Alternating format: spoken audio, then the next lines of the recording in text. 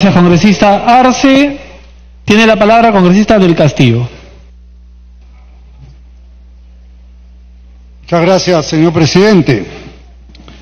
Hay un dicho del gran Benito Juárez que dice, nunca abuses de tu poder humillando a tus semejantes, porque el poder termina y el recuerdo perdura. Y esto lo digo en relación a varias opciones que podrían perfectamente ser aplicables, pero me voy a circunscribir a un hecho concreto, señor presidente. El día 9 de agosto, el presidente de la República vino al Congreso de la República y entregó acá, entre otros, los proyectos de ley 3185 y 3187. Están acá, bajo su firma. El mismo día, en números discontinuos, pero entregados a la misma hora. En uno planteaba la bicameralidad con reelección y en otro planteaba la unicameralidad sin reelección. Evidentemente, señor presidente, el Congreso tiene que ser malabares para sacar dos dictámenes o para dividir estas propuestas para cumplir con los cuatro puntos que ha señalado el presidente que es necesario someter sí o sí a un referéndum en diciembre próximo. Bueno, en la tradición constitucional del Perú, la definición del Congreso, iba el concepto si había o no reelección.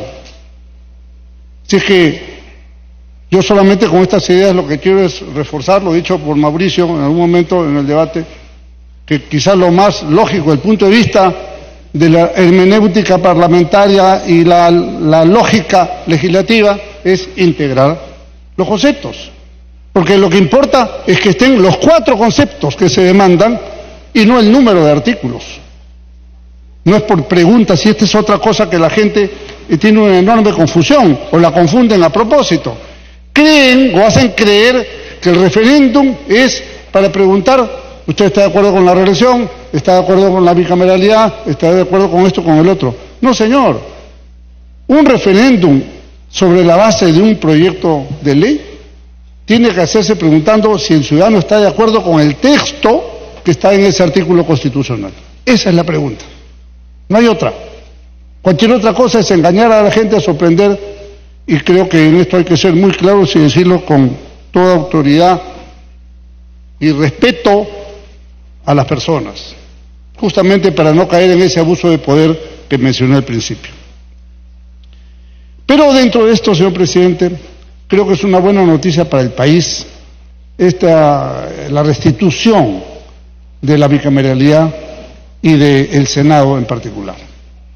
Desde la constitución vitalicia de Bolívar, pasando por el 26, el 28, 34, en fin,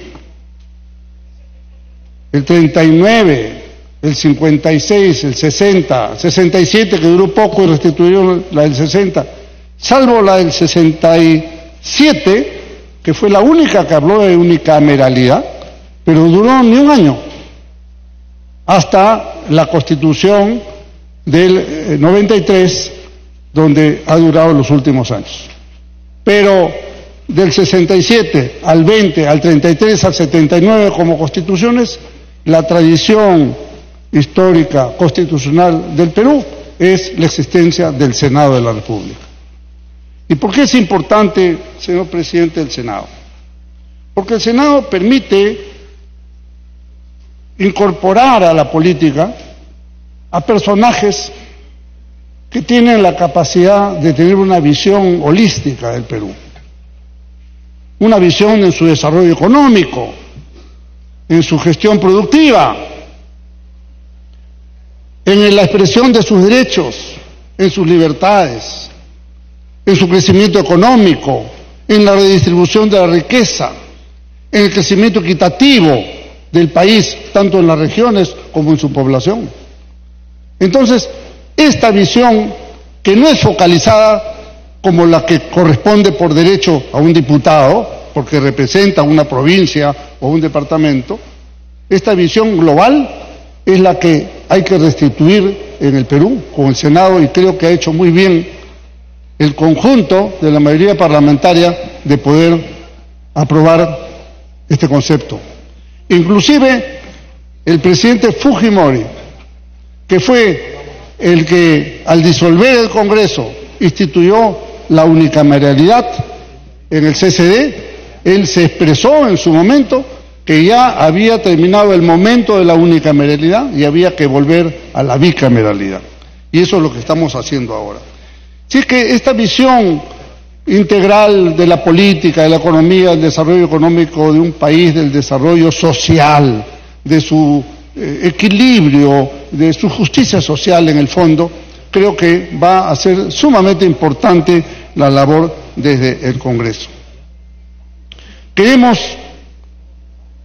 y, lo digo con mucho sentimiento, señor presidente, en cierta forma la restitución del Senado también es una reivindicación a las propuestas de ella la Torre, sentado donde está usted ahora, ¿no? Dirigiendo la Asamblea Constituyente del 78-79, y que permitió darle al Perú una constitución equilibrada y que fue el consenso de todas las fuerzas políticas y no la imposición de nadie.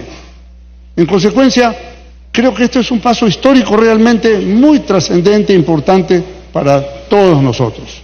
Ahora, no me voy a detener en el tema de la reelección porque también pienso que esto debería integrarse, pero creo que es muy importante, señor presidente, recoger de la experiencia. Ya veremos cómo funciona. La existencia del Senado equilibrará, no tengo ninguna duda, la probable experiencia de diputados, entrarán un conjunto de gente nueva a la política, en buena hora que se incorporen, pero justamente el peso y contrapeso dentro del Congreso, que significa el Senado versus diputado y viceversa, me parece importantísimo. Creo que las innovaciones que le han hecho para hacer un mecanismo de legislación es absolutamente válido. Si es que un Senado, para efectuar nombramientos de, personalidades del Estado, de personajes públicos trascendentes e importantes, que revise la legislación, porque últimamente hemos tenido, señor presidente, no digo en este periodo, en muchos años antes, que se elevó el estándar de normas observadas justamente por el sistema unicameral. Si es que creo que esto es muy importante hacer docencia con el pueblo, porque no se trata de que solamente porque son más hay que rechazarlo. Creo que ya varios oradores han aclarado precisamente, señor presidente, que con el mismo techo presupuestal podemos hacer funcionar ambas cámaras. Tiene que tener una sola administración, podrá tener dos oficiales mayores como corresponde, pero una sola administración, no tenemos que tener doble administración como antes y creo que eso lo podemos arreglar, pero eso yo diría que para algunos es lo más importante, para mí es lo de menos. Lo trascendente, lo que va a marcar la pauta, es que vamos a restituir al Perú un sistema de mayor reflexión, de mayor serenidad, que es exactamente lo que el país hoy necesita. Hoy que estamos a pocos días de una elección, donde estamos a la expectativa de qué pasa con un juicio, con el otro juicio, se cruzan palabras indebidas, yo creo que es el momento de llamar a la reflexión y quiero terminar con esto. A la, reflexión al señor presidente de la República para empezar porque Él es el que marca la política en el país. A todos nosotros en este ámbito congresal, a los altos dignatarios que tienen que guardar la compostura y la mesura que corresponde a la dignidad de sus cargos. Y creo que si todos hacemos este esfuerzo de reflexión, de respeto entre nosotros, señor presidente, habremos dado un paso trascendente. Si no, habremos caído en la nada o llevaremos al Perú al desastre. Y eso no puede ser. Realmente tenemos que respetar la institucionalidad y esto pasa por respetar a las personas, señor presidente. Hacemos un llamado sereno al diálogo y a la reflexión, un llamado al civismo, al patriotismo y al respeto, palabra que uso por enésima vez, pero que me parece que es fundamental para poder salir con el Perú adelante. Muchas gracias, señor presidente. Muchas gracias, congresista del Castillo. Tiene la palabra el congresista Ochoa.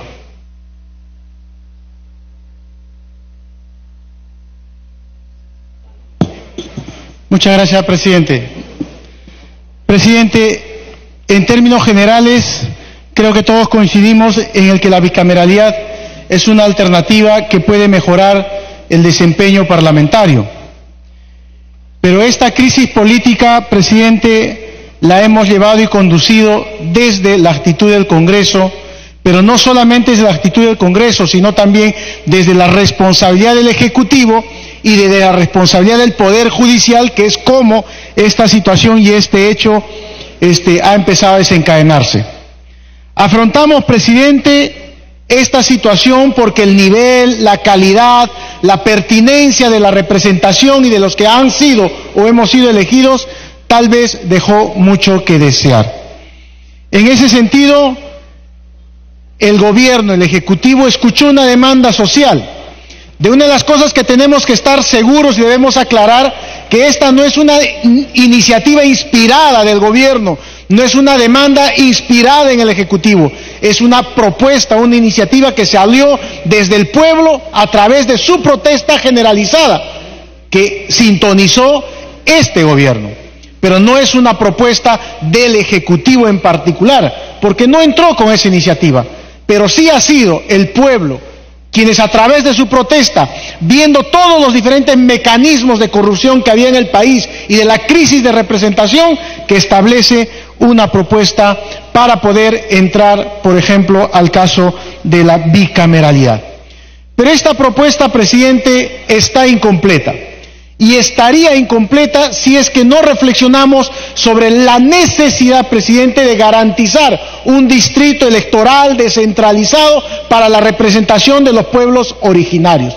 Tenemos que garantizar en el país la representación de los pueblos originarios. Si somos realmente conscientes de que somos un Perú pluricultural, multilingüe, presidente, tenemos que reconocer que existe la necesidad de garantizar la representación de los pueblos originarios. Pero también, presidente, estamos ante una oportunidad de poder trascender en el empoderamiento de la mujer. Y por eso exigimos que se pueda trabajar y que se pueda considerar en el dictamen final el tema de la paridad y de la alternancia. Presidente, es importante también aclarar que existe la necesidad de poder poner alguna complementaria en este, en este dictamen, porque existe la necesidad de, de que el 9 de diciembre, cuando vayamos a las urnas para el tema del referéndum, la población esté perfectamente informada. En ese sentido, presidente, sugiero que exista una complementaria que permita en este caso exonerar, y para este hecho, exonerar al Estado de la ley que regula el gasto de la publicidad del Estado, para garantizar que los diferentes mecanismos comunicacionales permitan a la población ir a las urnas con carácter, este, con un hecho informado. Seguramente, presidente, quiero señalar y quiero proponer al, a la presidenta de la comisión un texto en el artículo 93 si bien es cierto el texto del artículo 93 establece que la inmunidad es un hecho importante, creemos, presidente, y creo también estoy convencido de que esto debería asistir al congresista desde el momento en que se le entrega la credencial, no desde el momento en que es elegido, sino desde el momento en que se le entrega la credencial y se acredita que es congresista. La experiencia ya la hemos vivido en este Parlamento, presidente, pero además esta inmunidad tendría que concluir el último día en el que nosotros dejamos el cargo, o en el último día en el que ejercemos el cargo. Por eso, presidente, quiero proponer que el artículo 93 diga lo siguiente. Los congresistas o los parlamentarios representan a la nación, no están sujetos a mandato imperativo ni a interpelación, no son responsables ante la, la autoridad ni órgano jurisdiccional alguno por las opiniones y votos que emiten en el ejercicio de sus funciones. No pueden ser presos sin previa autorización del Congreso o de la Comisión Permanente, desde que reciben la credencial que los habilita en el cargo hasta el último día de su periodo parlamentario. La inmunidad de arresto con la que cuentan los parlamentarios no es aplicable para los delitos cometidos en flagrancia. La inmunidad de arresto puede ser levantada a solicitud del propio congresista. Presidente, sugiero que se considere un nuevo texto en el caso del artículo 93, dado que este hecho de la inmunidad también es un asunto crítico en la percepción social. Muchas gracias, presidente. Gracias, congresista Ochoa. Tiene la palabra el congresista Hernando Ceballos. Gracias, presidente. Yo, me preguntaba, cuando estamos analizando estos cuatro, estas cuatro reformas y la posibilidad de un referente, referéndum, ¿cómo es, que, ¿cómo es que llegamos a esta situación? ¿Cuál es, ¿Cuál es la lectura? Lo que hizo que el presidente, con estos anuncios el 28 de julio, pusiera contra la pared a este Congreso, ¿no? Y recogiera estos reclamos de la sociedad civil que con tanta facilidad han, puesto, han puesto de vuelta y media aquí a los congresistas en particular de la mayoría. Y lo cierto, eh, señor presidente, lo innegable, es que esto tiene que ver con la falta de legitimidad del Congreso y del el conjunto de las instituciones del Estado. Hay una crisis general. La pregunta es si estas reformas que estamos trabajando, algunos sectores con mucho entusiasmo, le van a permitir a los sectores políticos, al Estado en general, recuperar esta credibilidad o no, recuperar esta falta de legitimidad que se ha ido perdiendo al ocupar un cargo lejos de las aspiraciones de la gente y dando muestras más bien de frivolidad y, como que bueno, podemos eh, seguir empujando eh, el esquema de un país donde somos absolutamente tolerantes, no solo con la corrupción, sino también con la miseria, más allá del discurso.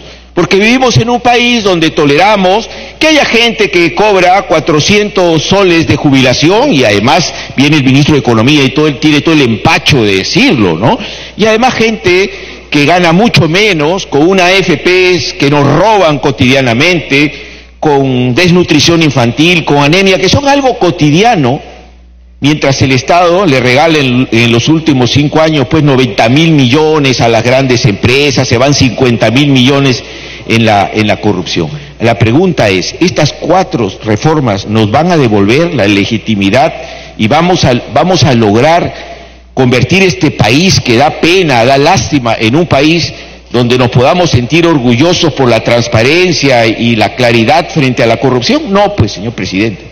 Y todos sabemos que acá estas reformas ¿no? no nos van a resolver los problemas de fondo de lograr una verdadera participación política y una verdadera legitimidad, ni tampoco una lucha contra la corrupción. ¿no?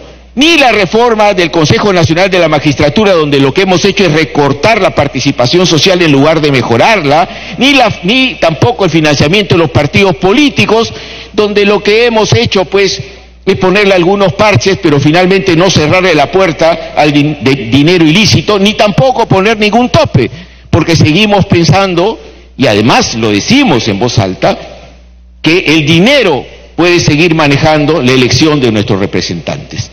Y entonces, claro, la gente nos mira y nos dice, estos hacen campaña para después llenarse los bolsillos y con 2.300 alcaldes procesados no le falta razón y con tantos congresistas denunciados tampoco le falta entonces razón. Y con esta bicameralidad que es un chiste, porque acá no se trata de si son 150 o 180, acá se trata de que le estamos tratando de sacar la vuelta, de que decimos no vamos a gastar más del 0.45% entre el 2021 y 2022, pero no decimos después qué va a pasar, estamos engañándole a la gente. Y cuando decimos que tampoco se pueden declarar los intereses de los congresistas, estamos ocultando la transparencia. Y cuando decimos también, señor presidente, que acá no nos interesa la responsabilidad, de la, la representatividad, la participación de los pueblos originarios, de los pueblos indígenas que viven permanentemente postergados también, señor presidente. Y entonces estamos hablando de una bicameralidad donde no se está asegurando que esto de verdad cambie en el país. Porque la mayor parte de nuestra historia hemos vivido en bicameralidad y la desigualdad ha sido lo cotidiano en nuestra patria. La bicameralidad no le va a cambiar la vida al país. ¿no? Nos puede cambiar el discurso, nos puede decir vamos a ser más ordenaditos, pero lo que aquí la gente le interesa es que se le resuelvan los problemas y que la bicameralidad sirva para mejorar la participación de los pueblos más alejados y para tener una representación parlamentaria más decente, más capacitada y más jugada por la gente. Y eso no lo vamos a asegurar tomando la bicameralidad como una medida administrativa. El problema es mucho más profundo que estas cuatro reformas, señor presidente, y el pueblo lo sabe. Por eso, nosotros desde el Frente Amplio lo decimos con absoluta responsabilidad. Necesitamos dar un paso mucho más decisivo. Necesitamos convocar a una asamblea constituyente porque, porque hay que cambiar esta constitución. Porque no podemos permitir creer, hacerle creer a la gente y creerlo nosotros que vivimos en el país de las maravillas, que con esta constitución vamos a poder luchar contra la corrupción, que con esta eh, constitución de verdad se permite lograr una verdadera administración de justicia, que con esta constitución vamos a permitir la participación social de forma cotidiana para no entender que la democracia no es solo elegir un representante cada cuatro o cinco años, sino se ejerce todos los días necesitamos por eso nuevas reglas de juego. No solo porque lo del Frente Amplio pensemos que hay que avanzar hacia un cambio de estructuras y una igualdad mucho más rápido de lo que pensamos muchos acá, sino porque de verdad empezamos por lo menos a empezar a transitar un camino, ¿no? De verdad, de, de un enfrentamiento a los problemas que la gente vive todos los días y a esta lucha contra la corrupción que parece que a muy pocos les interesa, porque lo del señor Inostroza y lo del señor Chávarri, la verdad nos demuestra que aquí lo que se viene, en lugar de aprovechar estas propuestas tibias del Ejecutivo para profundizarlas, lo que se viene es un ajuste de cuentas, ¿no? Porque el señor Vizcarra se atrevió a desafiar a la señora K, ¿no? Y entonces yo creo que el señor Vizcarra más bien tendría que pensar las cosas de manera mucho más realista y entender que hay que ser mucho más audaz en este país y mirar el 2021 como que acá no se puede esperar hasta el 2021 y que necesitamos acelerar las cosas, convocar una asamblea constituyente y tener el año que viene elecciones, que es lo que está reclamando el país. Gracias. Gracias, congresista Ceballos. Tiene la palabra el congresista Acuña. Gracias, presidente. Presidente, me está solicitando las dos interrupciones el congresista Eloy Narváez, por favor. Tiene las dos interrupciones, congresista Narváez. Gracias, presidente. Gracias, este, eh, colega Richard. Eh, eh, tenemos que aprovechar para dar este, algún mensaje respecto a, la, a esta nueva Cámara, de la Cámara de los Senadores a nuestro país, porque creo que la gente se pregunta y el día que vaya a votar, yo creo que tienen que estar debidamente informados la importancia de la Cámara de Senadores. Hemos escuchado estos días a, varios este, colegas eh, o, gente que ha opinado sobre este tema y decían, por ejemplo, pero si no hay, este, si no va a haber reelección, se va a perder la, experiencia que tienen muy buenos este, congresistas actuales que están en estos momentos sentados acá. Pero justamente a mí me gustaría, y estoy seguro que al pueblo también, que esos congresistas que tienen muy buena experiencia, ¿eh? ya sean senadores, y que sea un grupo de peruanos altamente preparados en política, que tienen obviamente ya una, que son intachables y que muy bien pueden pensar la agenda Perú y que puedan ser capaces de poder diseñar un nuevo país que oriente ese grupo a nuestra patria para enrumbarnos. La tecnología avanza todos los días y necesitamos gente que esté pensando en ese tipo de temas. ¿Cómo vamos a afrontar el avance de la tecnología en el mundo, en un mundo globalizado? ¿Cómo vamos a enfrentar el tema del manejo medioambiental? Las grandes inversiones. Nosotros somos un país básicamente que exportamos recursos naturales, renovables y no renovables. Pero acá estamos pensando sobre esos temas, no, porque estamos en el día a día, estamos resolviendo la agenda, la agenda del día, pero necesitamos un grupo, grupo de peruanos que estén viendo la agenda mayor. Gracias, congresista Narváez. Estaba en interrupción, por eso no hay adicionales. Para que continúe, congresista Acuña. Muchas gracias, señor presidente. Señor presidente, lo que se ha hecho en la Comisión de Constitución ha sido un trabajo bastante rápido, para ser sincero, en comparación a otros trabajos cuando se debía manejar reformas constitucionales. Obviamente que nosotros, como Comisión de Constitución, nos hemos preocupado en participar de casi estas 10 sesiones que se dieron para ver el pedido enviado por el presidente de la República. Y obviamente nosotros como Parlamento y como Comisión de Constitución comprometidos a llegar a la fecha indicada y solicitada. Porque nosotros sí creemos, como Alianza para el Progreso, que es momento de dejar de lado los conflictos y preocuparnos en los verdaderos intereses de los peruanos. Porque quien nos puso finalmente en agenda lo que significa la bicameralidad fue el presidente de la República. Para él, esta reforma es la gran solución a todos los problemas de los peruanos. Cuando también nosotros sabemos muy bien que eso no es así.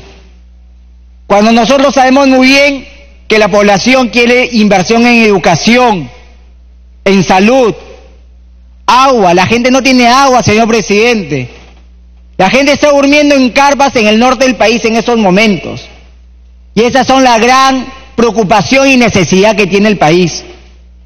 Pero ojo, esperemos que después del 10 de diciembre, que se hará el referéndum, del cual si estamos de acuerdo como Alianza para el Progreso, esperemos que después de esa fecha el presidente tenga una nueva agenda y que se preocupe por todas las necesidades de todos los peruanos. Pero como lo dije, quien finalmente nos puso en la agenda y estamos legislando en base a ello fue el presidente de la República con un proyecto que vino con sus famosos macro y microdistritos, que no convenció ni a los congresistas de su propia bancada. Lo expuso el primer ministro con su ministro de Justicia, hablaban de macro y micro y creo que ni uno ni otro se convencían. Y obviamente bajo la reflexión de la Comisión de Constitución, sí decidimos apoyar el proyecto o respaldar la reforma para darle una, una legislación a la bicameralidad. Y obviamente al pensar eso, nosotros veíamos la importancia de lo que van a significar esas dos nuevas cámaras. Obviamente una de ellas es porque vamos a repensar lo que va a significar la política desde una óptica mucho más pensante, con un debate amplio, plural y sobre todo un debate robusto, en el cual no se va a preocupar en sacar más leyes, sino buenas leyes, que se va a tener el filtro necesario para que no se tenga cualquier tipo de ley de un día para otro o con las famosas exoneraciones, o porque un congresista tiene tal vez mayor poder en una bancada mayoritaria o minoritaria, o por las relaciones que pueda tener. La idea es sacar buenas leyes. Y esas dos cámaras sí nos va a dar la oportunidad de ello, señor presidente. Además de eso, vamos a poder contribuir, sobre todo, a fortalecer la democracia en ese país. Vamos a buscar, sobre todas las cosas, ese consenso político que debe existir, ese consenso en el cual ya no existan enfrentamientos, porque obviamente esos enfrentamientos cansan a la población. La población quiere finalmente que los partidos políticos que tienen una representación en el Parlamento, que desde el día siguiente de su elección trabajen en conjunto. Y tenemos que fortalecer la democracia, tenemos que fortalecer a los partidos políticos y buscar esos consensos necesarios para que el legislativo y ejecutivo estén de la mano.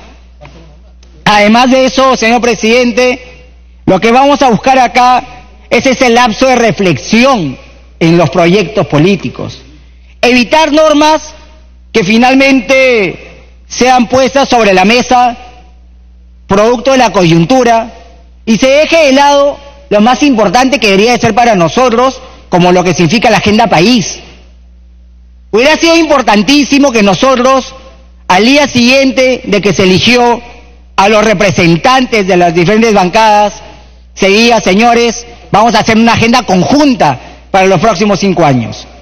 Pero creo que esta nueva bicameralidad sí nos va a dar la oportunidad de tener esta agenda país.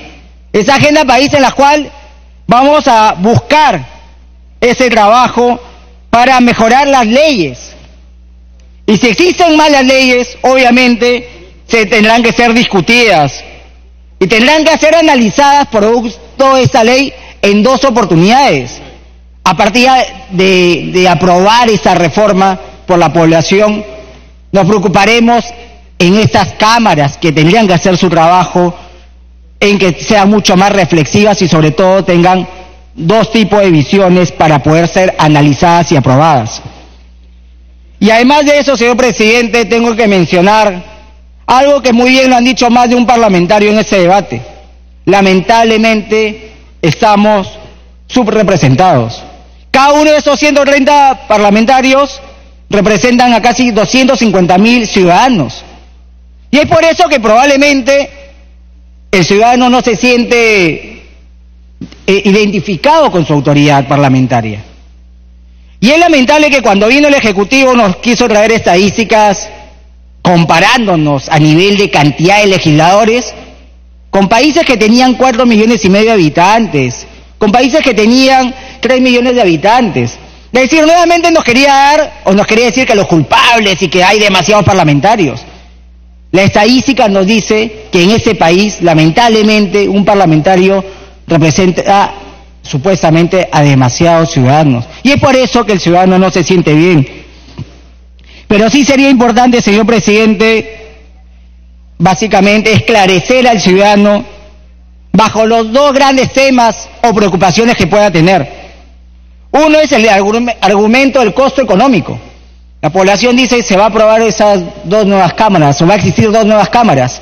Seguramente nos va a costar mucho más, pero tengan la plena seguridad que se ha trabajado desde la Comisión de Constitución con el consenso de la totalidad de todos los, de todos los partidos políticos respecto a esa disposición complementaria transitoria, donde se menciona que el presupuesto para la reestructuración y la primera legislatura no podrá ser mayor al 0.45 del presupuesto total del sector público. Es decir, no estamos aumentando un sol más. Y eso hay que explicarle al ciudadano para que también sepa. Si en la actualidad cuesta 0.45, va a costar lo mismo. Y eso lo estamos poniendo acá, en el proyecto que ha sido aprobado bajo el debate que se tuvo. Además, señor presidente, me imagino yo que otra preocupación del ciudadano es de que probablemente irán una nueva Cámara nos podría dar un proceso más lento al momento de tomar decisiones. Y no se trata de eso, señor presidente. Muchas personas pueden pensar que sacas una ley y te soluciona los problemas al día siguiente. Y no es así, señor presidente. No se trata de sacar leyes express si no se trata de sacar buenas leyes. Se trata de respetar también las leyes y que sobre, sobre todo sean cumplidas.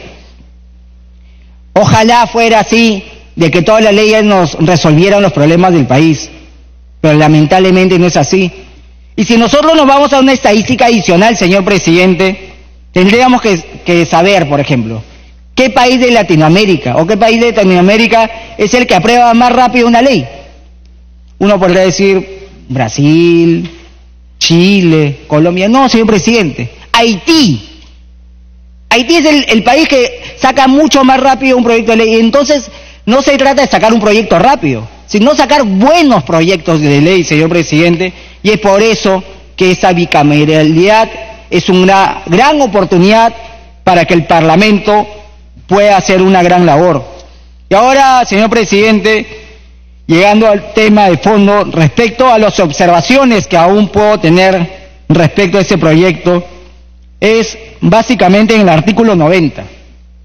Sí creemos como Alianza para el Progreso lo importante que es incorporar la paridad. El 51% de la población son mujeres. Y, nosotros tenemos una gran oportunidad de hacer lo que no hace el Ejecutivo porque el Ejecutivo dice, hagan la paridad y ellos tienen tres ministras. No tienen ni el 20% de lo suyo.